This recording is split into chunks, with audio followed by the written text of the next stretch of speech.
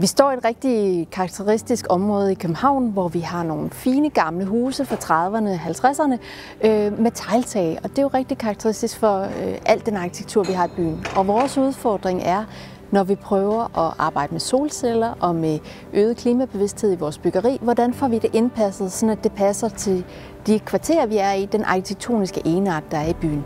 Så udfordringen har jo været, hvordan kan vi finde et, øh, en solcelle, som kan blive et nyt byggemateriale, som kan indgå på en æstetisk vis sammen med alle de røde tegltage, vi har i byen.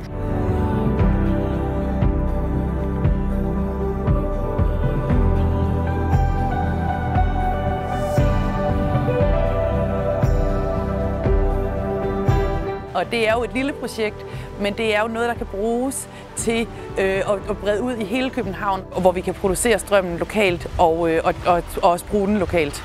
At vi taler i arkitekturen tit om taget som den femte facade, den som ikke særlig mange ser, men som er en rigtig, rigtig vigtig bidrag i forhold til øh, i det her tilfælde vores energi, men også vores livskvalitet, altså øh, tagterrasser, øh, urban cooling, urban heat island effekt er også noget, man taler om. Hvad er det i det hele taget for en klima, vores tage bidrager med?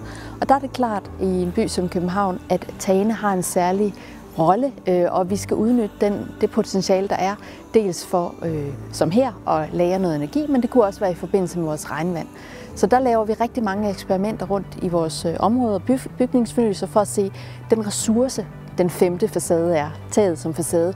Øh, hvordan kan vi arbejde med den på nye, innovative måder i vores by?